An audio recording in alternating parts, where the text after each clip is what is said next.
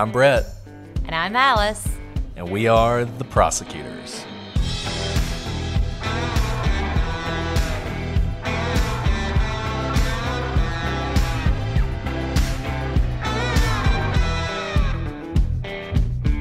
Today on The Prosecutors. In 1999, in Alliance, Ohio, David Thorne was accused of hiring a friend to brutally murder the mother of his child. But did he do it?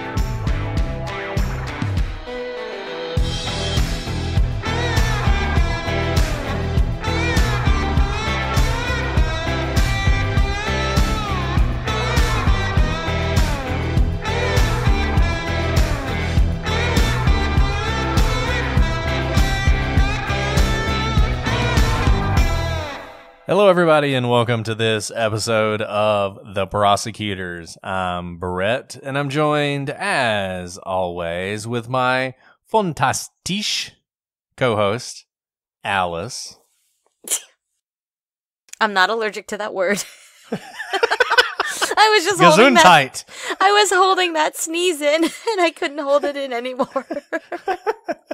so I, I'm not gonna lie, I didn't hear the word, but I'm pretty sure I wouldn't have known what it meant anyway. But thank you.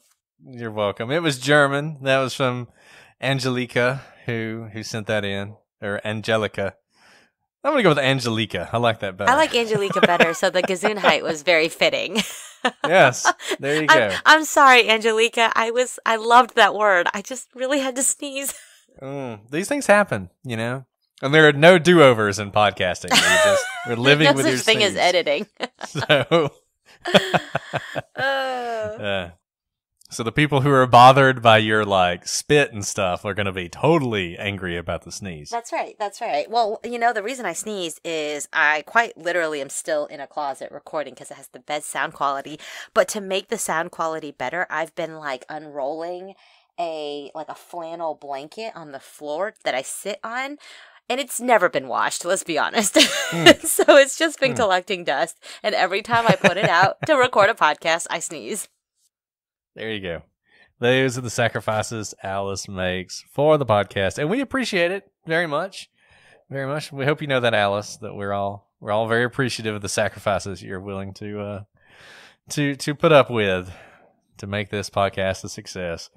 And we got an interesting one this time, Alice, and probably for the next couple weeks. Those of you who listen to our very good friend Maggie Freleng's show, Murder in Alliance, will already be familiar with the story that we are going to tell you. This is the murder of Yvonne Layne, and the father of one of her children, David Thorne, was accused of hiring one of his friends to kill Yvonne. And Maggie has taken this up. As most of you know, Maggie has a show called Unjust and Unsolved.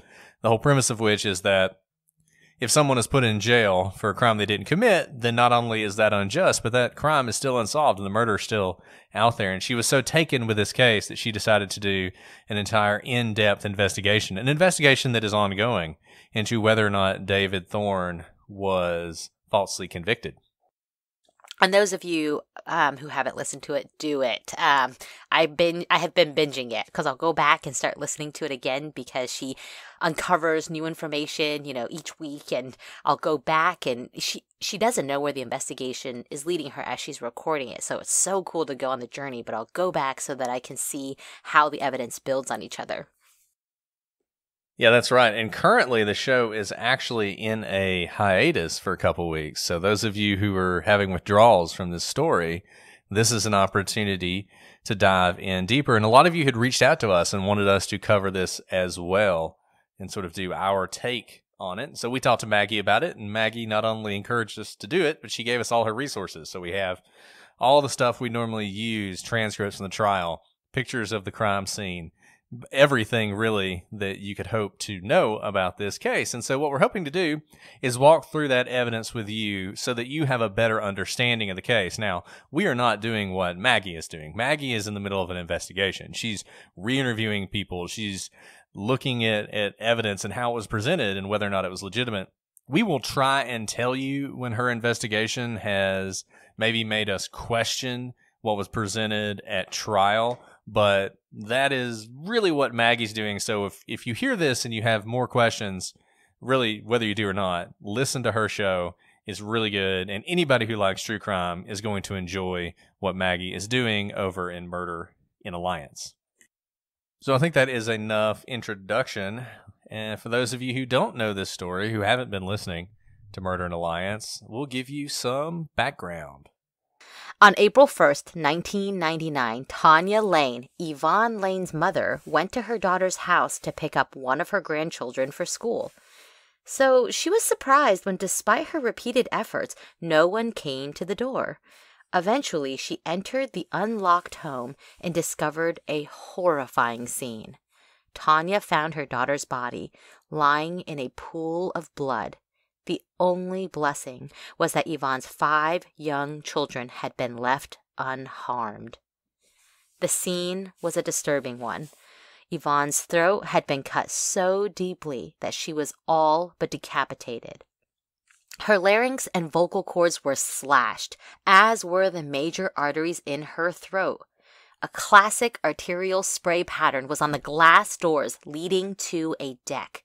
Incongruous in the crime scene photos are the two German Shepherd puppies looking in through the blood stained doors. Her oldest children were upstairs, locked in their rooms from the outside. Her youngest son was in his crib, dressed, which was unusual given that he slept in a diaper. The break came in the case a few months after the murder, when Rose Moore and her boyfriend, Chris Campbell, showed up at the police station and told the cops that they'd run into Joe Wilkes the night of the murder.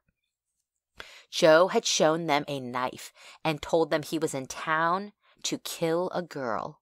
When the cops brought Joe in, he said that David Thorne, the father of one of Yvonne's children, had paid him to kill her. David was arrested and brought to trial, with Joe as the chief witness. David was convicted, but to this day, people question whether or not he was really involved. Brett, before we move on, I know you know this, but life is just so busy full time podcasting, full time lawyering, and with two little kids at home, it's so hard to get food on the table in time, which is why I'm so excited about our sponsor, Green Chef. Green Chef makes it so easy to eat the immune boosting foods you need to stay healthy and fuel a jam packed end to summer. Green Chef takes care of meal planning, grocery shopping, and even some food prep, giving you more time to tackle back to school season. No matter what recipe I get from Green Chef, my boys gobble it up and I don't even have any for leftovers despite the huge portions because they just love it. No, Alice, Green Chef is one of my favorite sponsors for a reason. We recently had the chicken con queso at my house, and it is incredible. Green Chef's expert chefs design flavorful meals that go way beyond ordinary, no matter what's on your menu. So if you want to join us and be a part of Green Chef, go to greenchef.com slash prosecutors100 and use code prosecutors100 to get $100 off, including free shipping.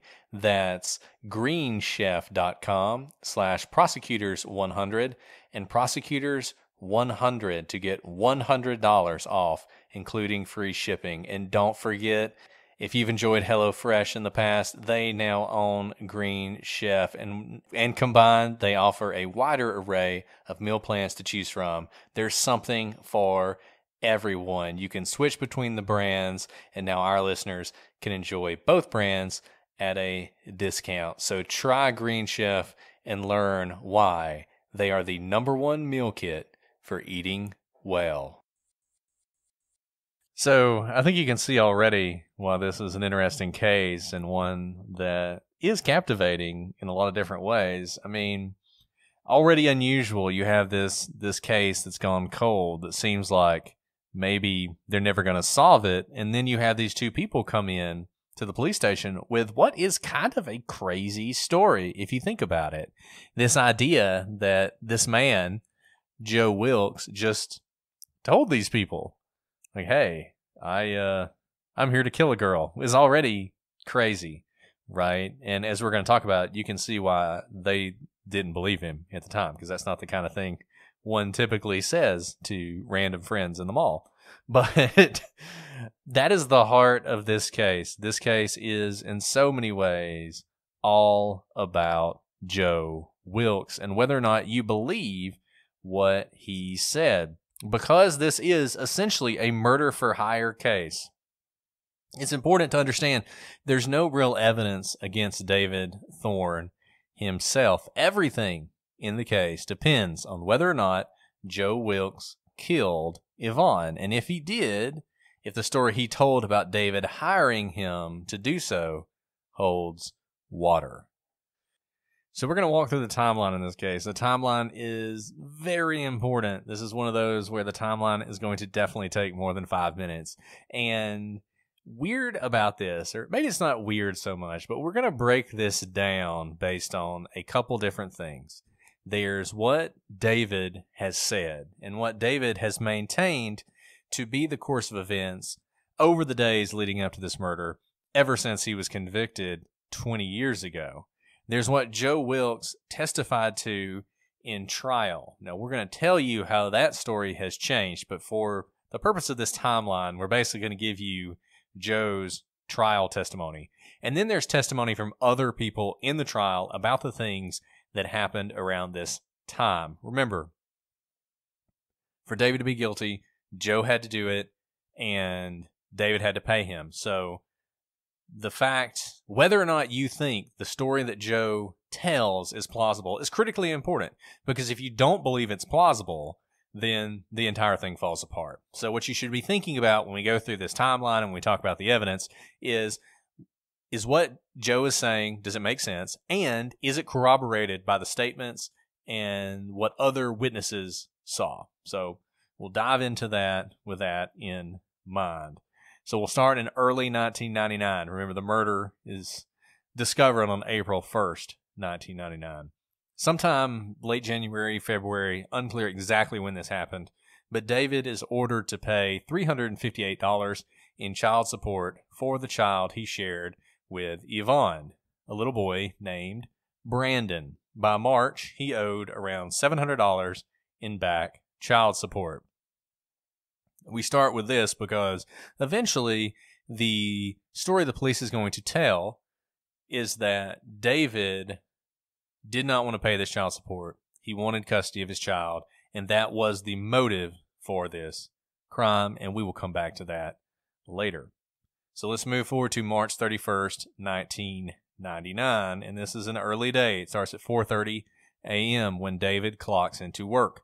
He works until about 12:30 p.m., at which point he buys some fish at the Fish Connection. This may seem strange, but David was into exotic animals. So he had a fish tank with some exotic fish in it, and he also had some tiger cubs, which will also become important in this case. So he stops at the fish connection around 2 p.m. He drops the fish off at his house and says he cleans up, takes a shower.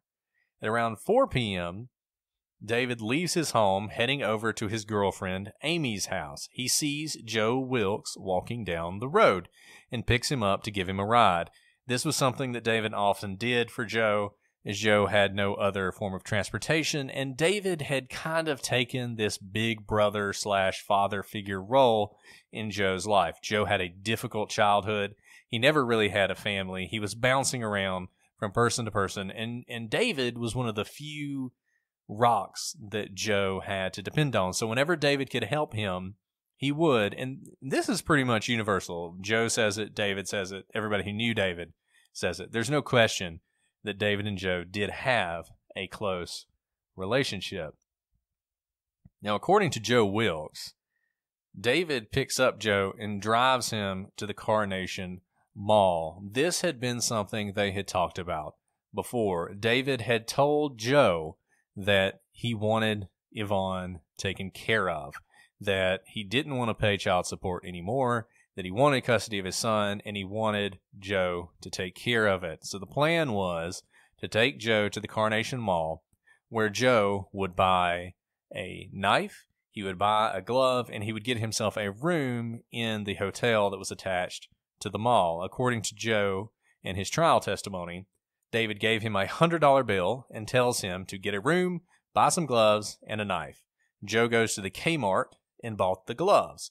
He did not buy the knife at the time.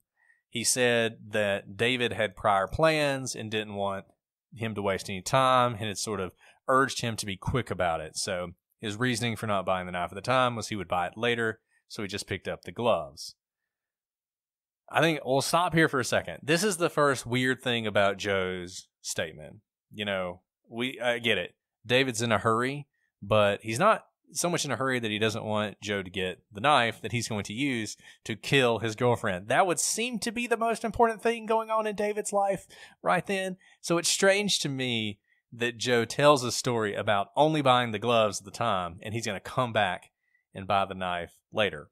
Especially when we know that Joe doesn't have a car. And um, if you don't want to draw suspicion to yourself, especially if you're collecting items that could be incriminating later on. Gloves might be weird. It's March, it's kind of warm. It might be cold. You might be getting gloves because it's warm. But a knife, you know, going to buy a knife and walking home with it could really make someone's alarm bells go off, right? And so if um, David is wanting Joe to be discreet, it seems strange that he wouldn't drive him to go buy a knife.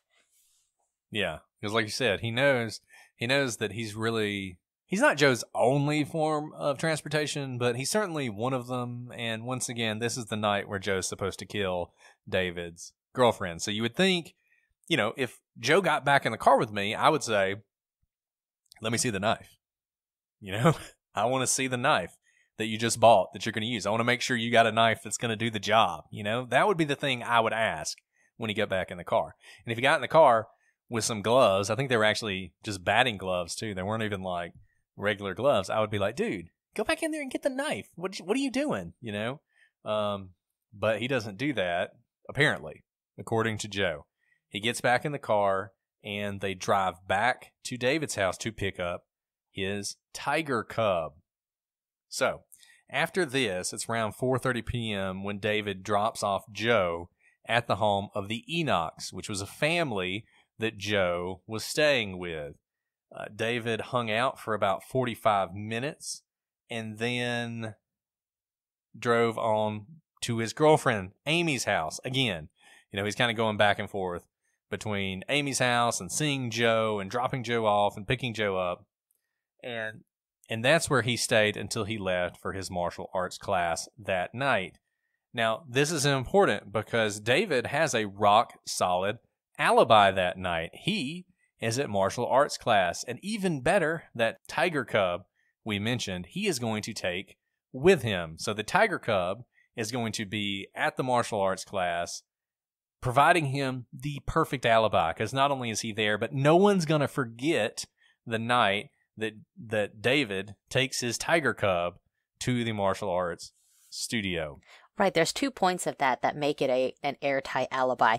One, you're not going to forget David. You might, you know, think about going to a class. There's a number of people in the class. You might forget a, if a specific person is there, but not the person with the cub. And second, even if you can't remember the time and day of that class, you could remember it was the class with the tiger cub.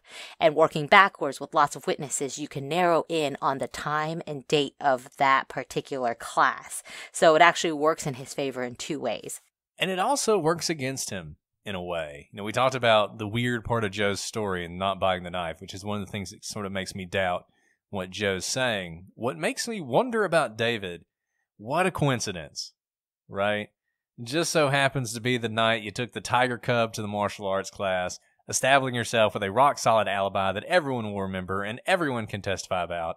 And that happens to be, of all nights, that happens to be the night that on again, off again girlfriend who also is the mother of your children to whom you owe back child support is brutally murdered. That is quite the coincidence. You sound so skeptical, Brett. I'm only I'm only saying what uh, comment comments on YouTube will say.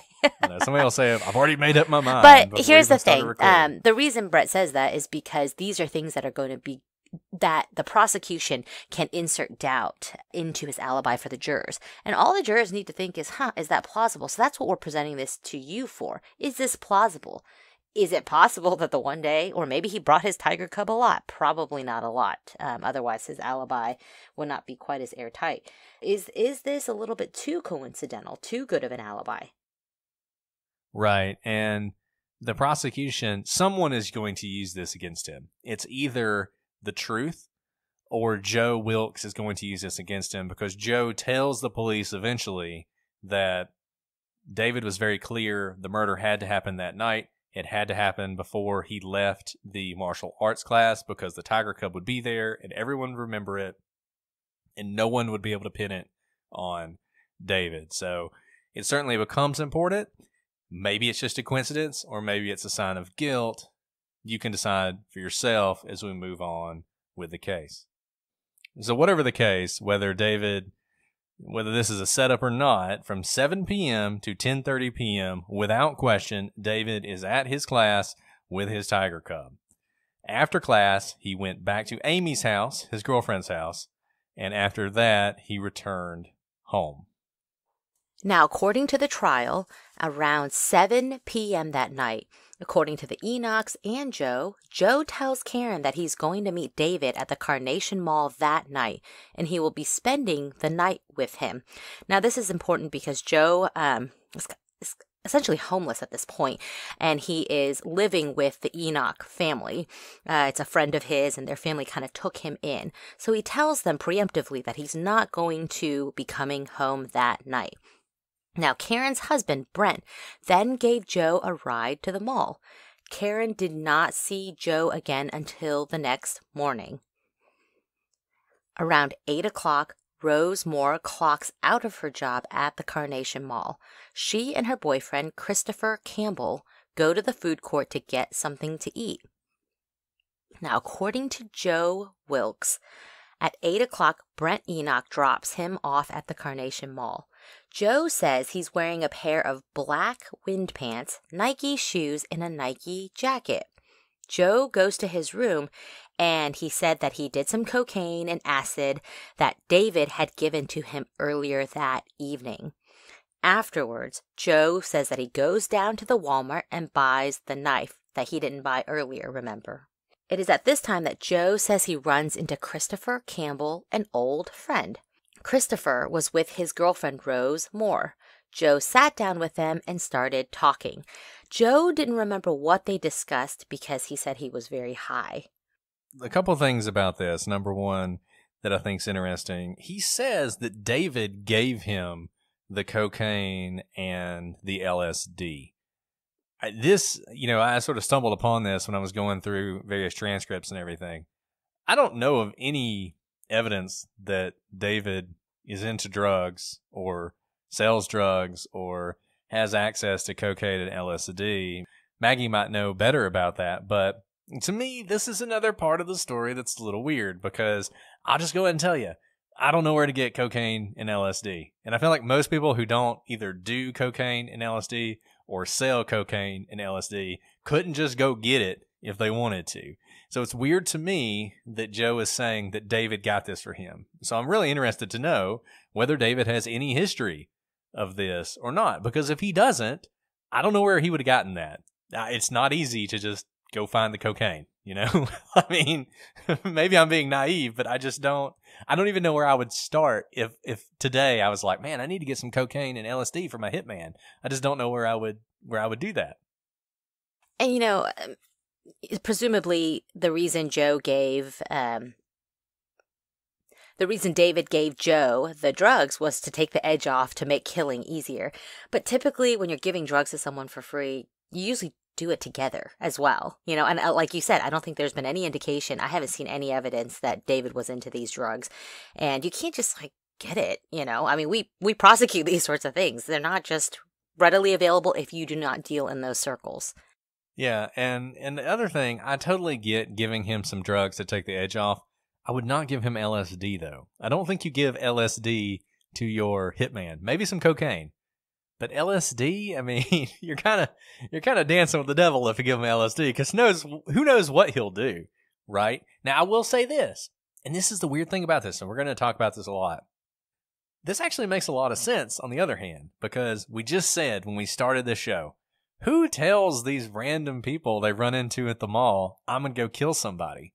Well, maybe somebody who's high out of their mind on cocaine and LSD. That might be the kind of person who would do that. And that might be a reason why um, Christopher and Rose don't directly report it because they can probably tell that Joe is high out of his mind and high people say things they don't always mean. Because remember, they didn't report this. They didn't report this for months. Now, Rose testified at trial that Chris introduced her to Joe as they had once gone to school together. Rose testified that Joe told them he was there to kill a girl and pulled a knife from his pants to show them. Rose says she didn't really remember what the knife looked like. She would testify that the supposed murder weapon could have been the knife she was shown. Uh, this is, by the way, very common. If one of your witnesses doesn't know the knife, they can't remember it, what you do is show them what you think to be the murder weapon and say, Is it possible it could have been this? and hope that they said, it's possible, but what they just told you was, I don't remember. And so it doesn't necessarily mean the weapon you're showing them is the murder weapon or that they remember it. It's more they're kind of like, I don't know, I told you I don't remember. So just so you know, that's a tactic. And I'm not sure that the way uh, her testimony went necessarily sh- indicates that she recognized the weapon, just that she didn't remember anything about the weapon and couldn't rule out that the murder weapon was not what she saw that night and we're going to talk about this some later, but this is also a clever little thing Rose does. If, you know, maybe she's just telling the truth, but the knife that she describes to the police when she goes in to talk to the police does not fit the murder weapon. So now by the time of trial, she doesn't really remember what it looks like. And she's like, yeah, that could be it. So there's also that little angle that adds some it's a little it's a little slippery what's going on in this testimony. On the stand, Rose also stated that Joe seemed nervous and shaky. Also, by the way, someone who is high on LSD and cocaine probably also seems nervous and shaky in the sense that they probably can't stay still. They're probably scratching themselves and twitching and looking over their shoulder. They may even be paranoid. So I just note that in the sense that it could be nervous and shaky because he's about to kill someone. It could also be that he's exhibiting signs of being high as well. Now, Chris testifies that Joe said his girlfriend dropped him off at the mall because they were going to have a party at a room in the Comfort Inn. Joe told him that his girlfriend had given him some money to take care of some business for her. Joe was shady about it, and Chris kept pressing until Joe pulled out a knife and opened it up. Chris said he knew at that point what Joe meant. Joe said he got the knife from Kmart. Chris testifies that the knife was a folding knife and said the knife the prosecution showed him matched the knife he saw. He testified that Joe told him his girlfriend didn't like the person he was going to kill. Now, notice that Rose and Chris are supposed to be standing next to each other engaging in one conversation with Joe, but that their memory of the conversation is very different. Um, and this, I mean, this happens. People's memories fade. We've talked about this a lot. It doesn't necessarily mean one of them is uh, lying, but it is interesting that you would think this is a very memorable conversation. Someone you think might just be spouting off random words like, oh, I'm going to go kill someone. Yeah, sure. But then when the person pulls out a knife, you would think that's a pretty memorable conversation. Yet they have different memories as to who sent them, who sent Joe to kill whom. Yeah. And this is where lawyers really make their money. There's a lot of things lawyers do that anybody could do. Right. I mean, a lot of times you have witnesses who'll tell you exactly what happened, and you just kind of stand up there and say, So, what happened next? And after that, what happened? You know, and they just sort of make the case for you, right? But here, this is interesting because you've got these two witnesses who are absolutely critical, the people who gave you Joe Wilkes, and the story they're telling doesn't match up. About the only thing in common is Joe says he's there to kill a girl, right? But lots of other stuff is not really fitting. And so the defense attorney, a good defense attorney, is going to do exactly what Alice just said. He's going to point out all the ways that these two witnesses who supposedly were at the exact same event for the exact same conversation that you'd think no one would forget.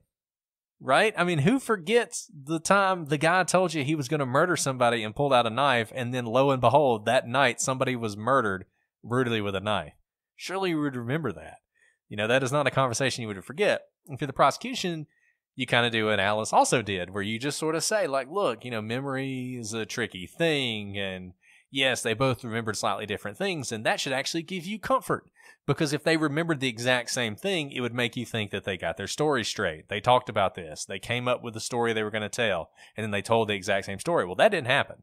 They clearly didn't get their stories together because they are telling a slightly different story. The question you have to ask yourself is does that make them more believable or less believable?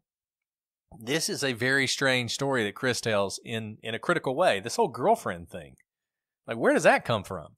right? That all of a sudden Joe is saying that his girlfriend dropped him off and his girlfriend wants him to kill this person because she doesn't like them. That's a weird thing to say. And it's a weird thing to say if you're Joe and you're high because even if you're thinking, well, Joe's probably, you know, on the one hand, he's telling them exactly what he's going to do. But on the other hand, he's creating this fabrication to protect David. Why would he do that? Why not just not tell them he's going to kill somebody? It's weird that the thing he would fabricate is the thing about the girlfriend. All great points, Brett.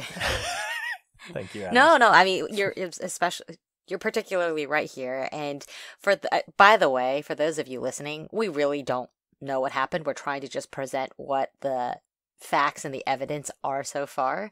And so we're showing you what goes through every lawyer's minds as they hear the testimony. So we're not trying to play one side or the other, the prosecution or the defense. We really are. These are questions that every lawyer is thinking. Now, the words that come out of the lawyer's mouth is going to be the side that you know, advocates for their side, whether they're the prosecution or the defense. But you guys are hearing our stream of consciousness of what we're thinking when we hear this trial testimony in court. And I really do think this is the way that a lot of lawyers, prosecutors, whatever, process information. Like you hear the story and you're thinking about the story and you're thinking about the holes in the story. And then you're looking at the, the more concrete evidence you have. And you're trying to see what story fits with the evidence. Like how, how, how do I work this out to some semblance of what actually happened that night? And we're going to continue to do this because you, there are just little things throughout this case that are strange and make you have doubts and then make you think David did it or Joe did it and then make you think they didn't do it. And we're just going to keep coming back to that. Alice, before we move on, I want to talk about one of our favorite sponsors, PDS Debt. I can tell you, I've been out of law school now for a long time and I am still paying my student loans. And everybody knows it's been a tough time for all of us. And debt can be difficult to deal with, particularly when interest rates are high and you have trouble even paying the minimum payment. And how many of you feel like old debt or bad financial decisions are holding you back in life? Well, our sponsor, PDS Debt, has customized 0% interest options for anyone struggling with credit cards, personal or student loans, medical bills, collections, or any other type of debt. PDS Debt is so confident they can save you money, they are giving our listeners with eligible accounts $25 Visa gift cards just for learning how to handle their debt. All you need to do is complete their quick online debt assessment and find out how much you can save. Bad and fair credit are accepted and anyone can start saving now. Go to pdsdebt.com slash TP and find out how to resolve your debt now. Now, when you, when you go to PDS debt, you'll need $5,000 in eligible debt to qualify. And if you do qualify, you can roll all of your payments into one low 0% interest monthly payment. You can save thousands in interest and fees, and you can pay off your debt in a fraction of the time with one low payment each month. This is an opportunity to clear up your credit so you can start using it to make financial moves in the future. If you are making payments every month on your debt and your balances aren't going down, this program is for you. And I know a lot of you are in that situation, the average American with credit card or personal loan debt over $10,000 ends up paying back two and a half times what they originally spent. PDS is offering a $25 Visa gift card to listeners with eligible accounts just for completing the quick and easy debt assessment at www.pdsdebt.com slash TP. That's pdsdebt.com slash TP. Take back your financial freedom today by visiting pdsdebt.com slash TP. At this point, we have a very strange situation with Joe doing some stuff that seems inexplicable if his story is true, and then the story we're hearing from other people, which also seems strange. And so it's like, where do we fit all this in? Well, in any event, at around 9:30, according to Joe, he goes back to his room. Remember, he has rented a room at the hotel that's going to be sort of his base of operations there. He was, and he did that with a hundred dollar bill. So we know that he was he says that David gave him a hundred dollar bill. He bought the room with a hundred dollar bill. He then bought the gloves. He then bought the knife. He did all that with that hundred dollars. According to Joe, he goes back to his room. He sort of steels himself for what he's going to do. He then leaves to walk to Yvonne's house. It is 3.5 miles away. So it's a long way to Yvonne's house from the hotel. You might, you might almost wonder was there not a hotel any closer? and he says that he walks down Main Street. So he's walking down the main drag from the from the hotel to Yvonne's house. This is around 9:30 when he says he left. The average person walks about 3 miles an hour, maybe a little faster. So he's looking to get to Yvonne's house around 10:30, maybe a little bit earlier, maybe a little bit later. He's already cutting it close on what David had told him because remember, David's martial arts class is over by 10:30, so he is now heading home at that point, but Joe is just now getting to Yvonne's. He says he gets to the house, he knocks on the door, and the door is unlocked, which he opens. Now, this is consistent with both the statement of one of Yvonne's children who says that she actually told him to go lock the door, and he kind of got scared because you had to go downstairs and it was dark, and so he didn't lock the door and he just went back upstairs and told her it was locked. And it's also consistent with what other people have said about the fact that Yvonne didn't really lock the door very often either. So, not surprising that the door is unlocked. By the way, can we just say that I hope that kid isn't scarred for life that they didn't lock the door. This is like the scare. I think all of us are, you know, our worst nightmares. We forget to lock one door at night, and this is the night that you know Joe gets to walk in, if it is Joe, uh, into Yvonne's house, kind of unobstructed. I thought the same thing, and I heard him later on say that it wouldn't have mattered because whoever killed her knew her, and I think that's true, and so she would have let them in either way. So I think you're right. I worried about that too, but I think he he recognizes that it really didn't matter. Even if he'd have locked the door, they still would have gotten in. So but I, I think that's right, but I'm glad to hear he's not scarred because I'm a little bit scarred. I know. So Joe starts walking up the stairs. The house is kind of a three level deal with sort of the entranceway. I think there's a crib downstairs with one of the children in it. Then there's some stairs that go up to the second floor where there's like the kitchen and there's a living room and a dining room and there's like a deck um, off to the side. And then you go up some more stairs and that's where the kids' rooms are. That's what I picture, what I've understood the layout to be. So he's walking up the stairs towards the second floor, and as he's doing that, Yvonne is coming down the stairs. You probably heard him come in. He might have said something. Either way, she's coming down the stairs and she sees Joe. And Joe tells Yvonne that David wanted him to swing by and see how she was doing. Yvonne sort of welcomes him into the house they sit down on the couch and they start talking. At some point, Joe removes the knife from his pocket and is sort of holding it down by his side. Yvonne turns her head, and when she does, according to Joe, this is when he acts. He grabs her hair, pulls her hair, and then cuts her throat. He says in his statement to the police and subsequently in the trial that at this point she sort of lurches towards the glass doors that Alice mentioned earlier, the ones with the German Shepherd puppies on the other side. She then turns and asks Joe why. He tells her because David wanted him to. At this point, she collapses to the floor. Joe is totally freaked out by this. He turns to run. He runs into like a dresser that also had a TV on it. He knocks over the dresser. The TV falls off the top of the dresser and on to Yvonne's body. David had told Joe that there was money on the third floor and that he should go up and take it to make all this look like a robbery. But Joe was so freaked out by this, and you can imagine if you just murdered someone in this brutal, violent fashion that you might be, that he just ran out of the house and down Main Street towards the mall. So he's basically running down Main Street, heading back towards the mall, 3.5 miles away. Along the way, there's a ditch with like a drain in it, kind of like in, if you've seen it, the one that the little boy gets pulled into. So he throws the knife into that drain. He then keeps going. There's a McDonald's. At the McDonald's, he dumps the gloves that he had, the baseball gloves, and he goes back to the hotel and essentially sits in the bed, freaked out for the rest of the night, thinking about what he has done. According to David, at around 1 a.m.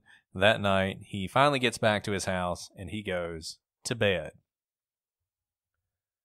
The next day is April 1st, 1999.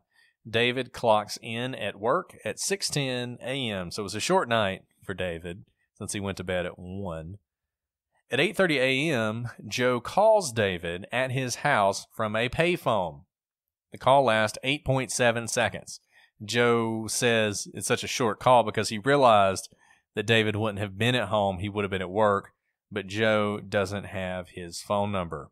At 9 a.m., according to Joe, David arrives at the mall. He asks Joe if it's done, and Joe says it is. David says he doesn't want to know anything about it and told him that he would be giving him $200 later. So, note um, the $100 was just to buy supplies and get the room, but the cost of hiring Joe as the hitman, according to Joe, is just $200. And you know, people people balk at that, right? Like I've heard people say, "Oh, so you know, two hundred dollars to kill somebody that that seems like way too low." In my experience, it's kind of shocking what people will kill other people over. And they'll kill people for a lot less than that. You got to remember, this is not a professional hitman. If this happened, this is David asking a friend to take care of this problem for him, and then he's paying him some money, and, and maybe this is just an initial payment on what he's going to give him later. So to me, the two hundred dollars, even though it's shocking, it's not necessarily surprising when it comes to what a life is is worth in this world. And remember, Joe is homeless. He's living with, you know, friends, family. Uh, he doesn't have a car. He bums rides off other people. $200 is a, a lot for him. And so the price, remember, is what motivates the individual, where they're situated in their life at the time. And so what Joe sees is he got drugs out of it and this is someone, David is someone he admires and looks up to, loves, calls all the time, wants the affirmation of. So $200 plus, you know, the love and affirmation of someone he admires could potentially be enough. Sometime in the morning, Karen sees Joe again. Remember, Joe had told Karen that he wasn't going to return that night because he was going to the mall and would be staying elsewhere. Karen said at the trial that Joe was unusually quiet that morning. When she asked him what was wrong, he told her that he and David had stayed up all night. Karen would recall that the next morning, Joe picked up the paper, something he would had never really done before, and exclaimed that the mother of David's little boy had been murdered. Over the next few days, Joe would repeatedly mention that David owed him money, to the extent that if he left the house, he would remind Karen to ask David for the money if she saw him. He told her it was for helping clean out his grandfather's garage. So, a couple things about this. Know, we said there's going to be it's going to be a back and forth on things that make you think that Joe did it and David was in on it, and things that make you don't. This is a very understated but strange comment that, or a couple strange comments that Joe made to Karen. Now remember, Karen has no dog in this fight. She has no reason to lie. She's the person that Joe is staying with at the time. If it's true that the day after the murder, the morning after the murder, Joe said that he and David had stayed up all night, it's very strange for him to bring David into this, right? Like, what a coincidence. I mean, imagine Joe had nothing to do with it. He doesn't know that Yvonne has been murdered. You know, last time we saw David was when he went off to, to the martial arts studio. What a coincidence that he happens to say that he and David were up all night the night before. Strange thing to say. Then there's the money thing. What a coincidence that David just happens to owe him money for what he says is cleaning up the grandfather's garage, but what later will be said to be payment for the murder. Quite a coincidence. Now, maybe these are coincidences that some corrupt police officers or maybe desperate police officers are going to use to try and tie this murder to Joe, but you almost have to think it's something like that because I don't think Karen's lying. I think these things definitely happened. I think Joe definitely said these things, and they are strange things for him to say if he has nothing to do with Yvonne's death. Here's a good place to mention the rule that is invoked at the beginning of each trial. The rule is that what is the, the rule? The rule. I don't I don't even know the citation because everyone just calls it and no one knows the citation. The rule. yeah, and what you mean by the rule uh, when you invoke it is that you want everyone who will testify in the trial for the prosecution or the defense to be excluded from the trial room, the courtroom. Remember, courtrooms are supposed to be open to the public unless it's a sealed hearing or trial, which is very rare because we uh, decided as a country that we wanted the judicial system to be open to the public eye. So anyone, any one of you can walk into just about, maybe not right now because of COVID, but generally you're able to walk into any courtroom and watch any proceeding you want. That's your right as a citizen in this country. But when you say you invoke the rule, you want witnesses to be outside of the room so that they can't hear what other witnesses are testifying about and they can't see where their story fits with others. So, those of you who may think Karen's trying to help, you know, the prosecution, she has no idea what the prosecution's theory is because the only time she's in the courtroom is when she comes in to take the oath to tell the truth, the whole truth, and nothing but the truth, and to testify on the stand. So these questions are being asked to her and we are beginning to see, you know, what the prosecution's theory is take form as we read through all of the evidence presented. But Karen doesn't see any of that. And that's what we mean when we say Karen doesn't really have a dog in this fight. She has to answer questions truthfully and from her perspective, these questions may not mean very much to her. So what if Joe picked up a, you know, the morning paper? It makes sense that Joe would exclaim uh, about someone he knew, Yvonne, being murdered. I would certainly say something if I saw in the paper that someone I knew, even tangentially, um, had been murdered. So she may not think any of these things are important, but this is why it's important for each side to decide who their witnesses are and what evidence comes in. You may be saying to yourself, well, the prosecution, they could have told her what to say beforehand and told her this is this is what you have to say to make this work. Okay. The chances of that happening are basically nil. If they had done that, she would have said something by now. I mean, it's been 21 years. She hadn't got anything to lose. If the prosecution had brought her in and said, look, we need you to lie, we need you to say X, Y, and Z so that we can, in this very sort of, you know, subtle way, incriminate Joe, uh, we would know that by now. There may be corruption in this case, and there may be some stuff that that was done improperly or even done maliciously, but nobody told Karen what to say. She is saying what she remembers. And I think we can take this to the bank that all this stuff happened. Like Alice said, maybe Karen is looking back through the lens of what she knows. And like the newspaper thing is a good example. Maybe Joe picked up the newspaper all the time, but she never noticed because it didn't matter. It was a minor thing. It totally went over her head until the day he read about someone he knew being murdered. And she did remember that. And then later on, she hears that Joe did it. And she's like, well, he had never picked up a newspaper before except that day, right? And you can see how she would assign importance to something that's not actually that important. and and make a big deal out of it. But I do think it happened. I don't think there's any question it happened. I think it happened that Joe said these things. One funny story about the rule. Um, I don't know if I've told this one before. We're far enough in the podcast where I'm going to start retelling my stories.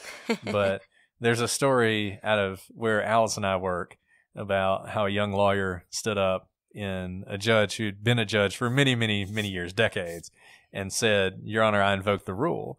And the judge said, Which rule are you invoking? And the guy, he had no idea. It was just, he'd always heard people say, I, I invoke the rule. So he thought you're supposed to do that.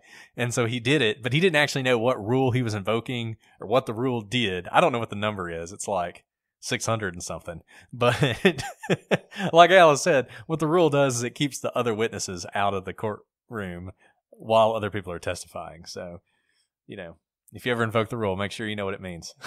you know what this means. We now have to make sure we know what rule it is before I we look go it into the up courtroom the next every time. now and then, but I can't. I look it up a lot and I can't hold it in my brain. It's like as I get older, my brain gets more holes in the sieve that is my mind.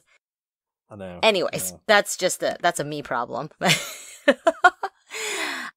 Brett, before we move on, I have to say I'm so excited about our sponsor, Audible. I love to read, um, but it's just hard to get reading time in with a physical book these days with two little kids running around and constantly driving from witness interview to witness interview.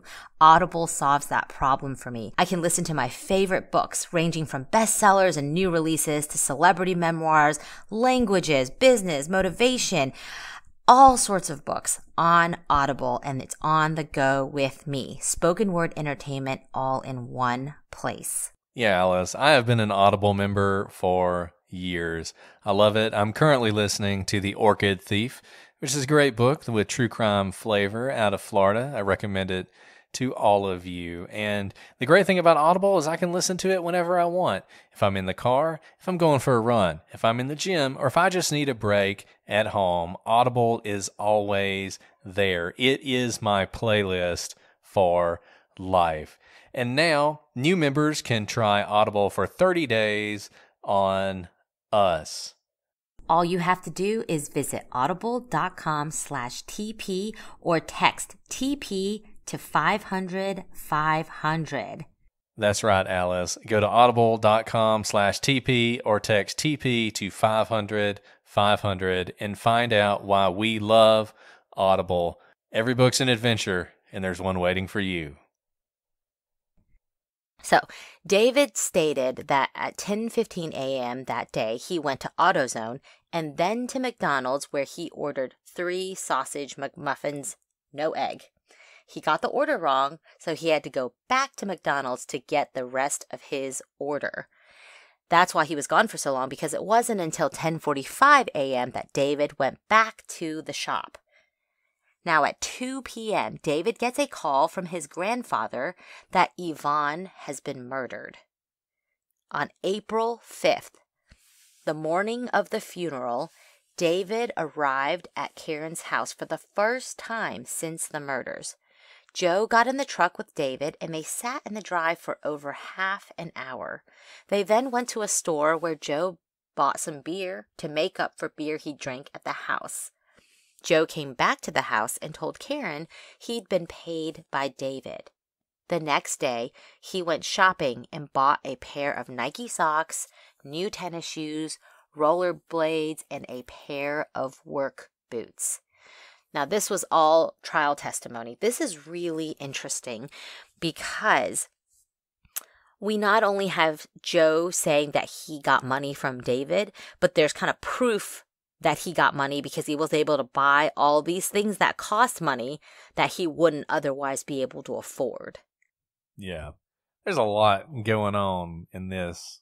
Number one, the fact that it was the morning of the funeral that David supposedly paid him is, I mean, that's that's cold if it's true, right? I mean, David is on his way to the funeral and he's stopping by Joe's to pay him for the work he did. Now, like Alice said, this is another one where it's a strange coincidence if it's just a coincidence because Joe says he got paid money, 200 bucks that day from David.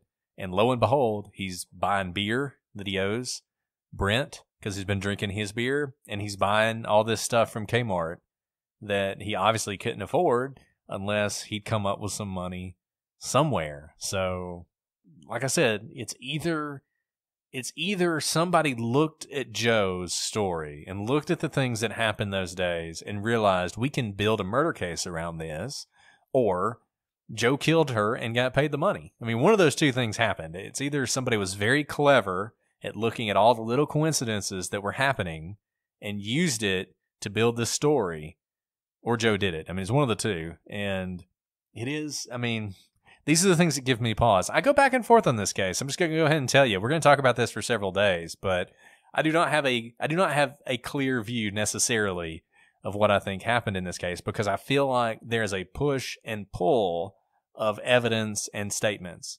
And this is a really interesting one I think because if you can step away and sort of be neutral on it, I think you'll see kind of how difficult it is to figure out exactly what happened. And you can see that there's not just, you know, this is not. This is not Temujin Kensu. We talked about Temujin Kensu. We talked about him a lot because when we looked at that case, it was just so obvious that there wasn't really a whole lot of evidence against Kensu. You know, I mean, the prosecution got a conviction, but it's unclear how they did it. They pulled it off somehow, but this is not that case. This is not a case where it is obviously a slam dunk either way. And and that's why I think it's really interesting. And this is just another aspect of it where Joe suddenly comes into money at exactly the time you would expect him to come into money if he'd committed this crime. Right. Now, Joe testifies at trial that David paid him the $200 on this occasion. We've already kind of talked about that. But that's i mean even if it were some prosecutor looking at all the little coincidences coincidences in you know the financial records and whatnot you have joe under oath saying that david gave him $200 on this occasion. Do people lie under oath? Absolutely. But there's something backing up what he is testifying to and that is the purchase of all these things he didn't previously have any money for. And there's no indication that the day of yvonne's funeral, he had some big job that paid him on the spot either. Now, on July 14th, the police interview Joe Wilkes. David is arrested soon after that. So that's the timeline, but we have so much more to talk about in this case. Next week, we're going to dive into Joe's statements. We've obviously told you what he said at trial, but Joe has given multiple statements in this case. He gave two statements to the police before his trial. We'll talk about those and we'll talk about some of the differences between those two statements. He obviously testified at trial. You've heard most of what he said then. But then after trial, he gave a deposition where his story was remarkably different and he backed that story up at a hearing later on. And once again, Joe is the case against David. I mean, David's going to be convicted, and David's not there. If David did it, he hired somebody to do it. And really, the only way we know that is based on what Joe said. Now, look, I keep saying Joe's the only thing, but you've heard other things. And you see why this is a little bit more complicated because it's the little things that happen around Joe that make you wonder whether or not he's telling at least some semblance of the truth. It's the statement to Rose Moore and Chris Campbell. It's the things he says to his uh, the people he's staying with. It's the money suddenly appearing. It's the fact that he was at the mall. It's the fact he bought a knife. It's those little things that bolster what Joe is saying. But if at the end of the day Joe is actually lying, then David is innocent. He didn't do this. So we're going to look at that statement. We're going to talk about that some more. We're going to talk about more of the evidence in this case. We're going to talk about the knife and whether or not the knife could even have made the wound that we see. And once again, if the knife he bought isn't the knife, that's a pretty big hole in his story. We're going to talk about his clothes and where they were found and, and what they tell us about this crime. And we're going to talk about the crime scene and what it tells us. There's lots of stuff to dive into, and we are going to continue to do that in our next episode. For now, if you haven't listened to a Murder in Alliance, it's as good a time as any to start.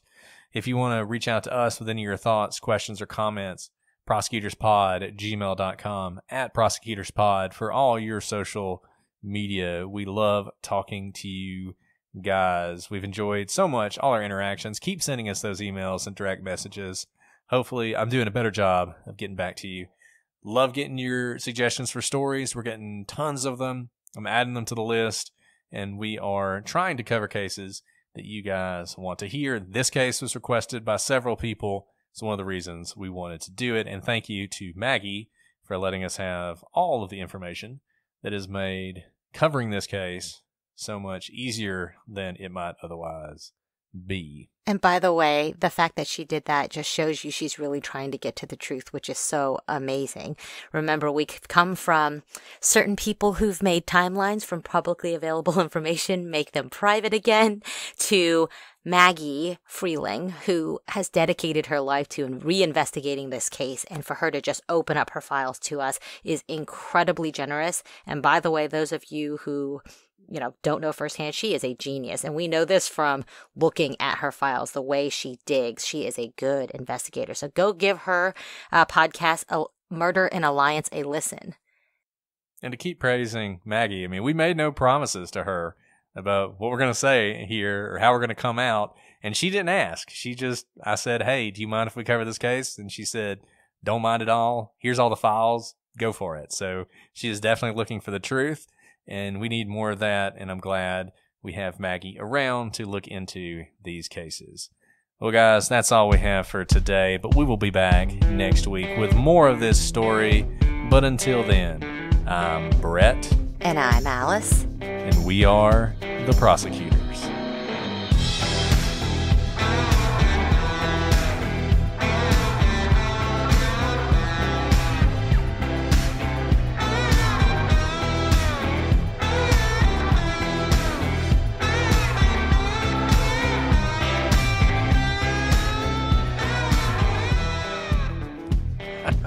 I've held a baby cup before, but I think it's like anti. I think you're not supposed to do that anymore. Preservation right? or whatever. I did it in Thailand, but not that that oh, makes it well, any better. Count. But it was not in America. Tiger Queen, Alice. Tiger Queen. uh, if only. If only. One day, Alice. Tigers like, on a gold leash. That'll so be I, us.